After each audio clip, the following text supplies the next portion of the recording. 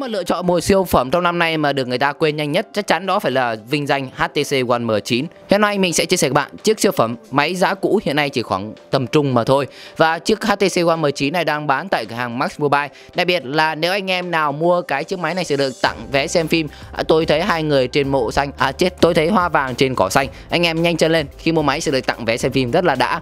Bây giờ sẽ quay trở lại với sản phẩm HTC One M9 à, Có đôi chút lưu ý. Đầu tiên thì cái máy mà mình đang cầm trong tay được làm tại thị trường Đài Loan. Tức nghĩa là made in Taiwan không phải là made in China. À, Thực ra Đài Loan thì nghe nó vẫn xịn xịn hơn một tí so với lại Trung Quốc. Các bạn khi mua máy nhớ nhìn hình thức kỹ một chút. HTC One M9 dễ dàng nhất là bị xước ở phía sau lưng Vì đây là làm bằng nhôm. Thế nên mà cái độ bền của nó là không cao cho lắm. Nó sang, nó đẹp nhưng sẽ khá dễ bị trầy. Các bạn soi kỹ cái phần này. Và phần khung viền xung quanh của máy thì sẽ là màu vàng. Máy này thì là có sự kết hợp giữa vàng vàng và màu trắng bạc rất là hiện đại và rất là thích mắt. Còn bây giờ thì uh, toàn bộ lô HTC One M9 này thì được cửa hàng Max Mobile chia sẻ đó là sách tay từ thị trường Mỹ về chứ không phải là phiên bản quốc tế đã được unlock và chúng ta có thể thoải mái lắp sim reset máy hoàn toàn bình thường tương thích tốt tại thị trường Việt Nam chúng ta. Thế nên khi mở máy ra các bạn thấy là nó được cài một bản ROM cúc, bản ROM cúc này giúp cho nó hoạt động ở thị trường quốc tế và hoạt động hoàn toàn bình thường. Các bạn có thể cài cả bản ROM cúc khác của HTC vào đây, không vấn đề gì. Bản ROM cúc này vì vậy sẽ đi kèm với Super SU này chúng ta có thể rút được máy này. Sẽ có một số tùy biến khác nữa của bản ROM. Nhưng về cơ bản là nó hoạt động ổn định, không có vấn đề gì.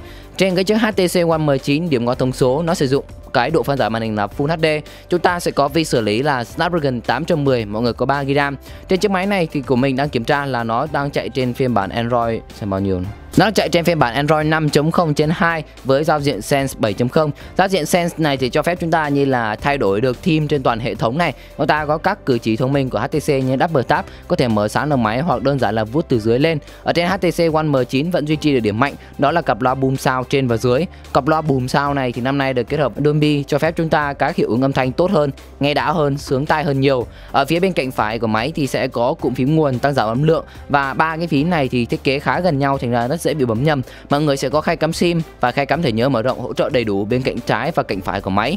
Bên dưới là cổng sạc và sẽ cắm tai nghe 3,5 mm.